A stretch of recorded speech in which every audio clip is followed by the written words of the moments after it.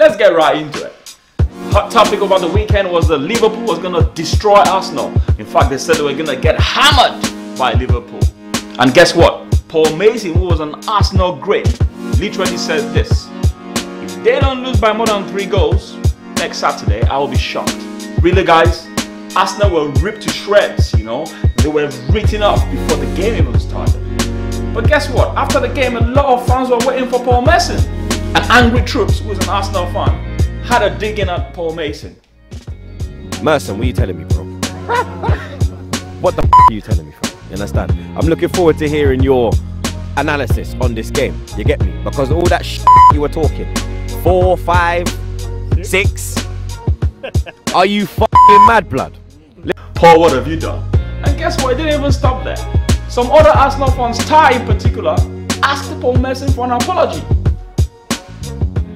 Paul Merson, Paul, where is your apology? Your apology needs to come now. Straight away now. Wherever you are now, give us our apology now. Ty, my friend, he's quite a funny guy.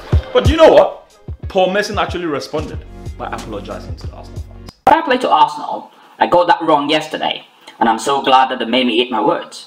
Clear they are improving every week. I never want Arsenal to do badly. I just give my honest opinion about everyone at the time I'm asked.